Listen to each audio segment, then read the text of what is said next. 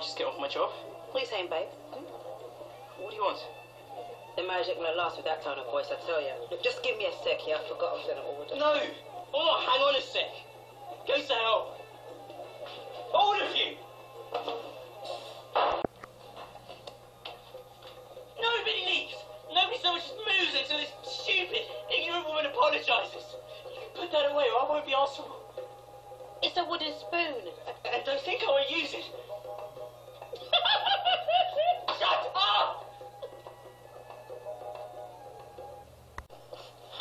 Am invisible to you, aren't I?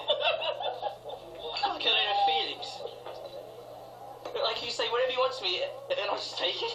Sally, What do you want? give me this spoon. Not as if a stupid car apologises. Look, I was trying to explain. Shut up! But he wouldn't give me a chance. Look, I was only having a laugh. I didn't mean it. Yeah, it's just what she's like. Look, darling, she she didn't mean it. She's sorry, really. Okay. Come here. I do apologise, lady.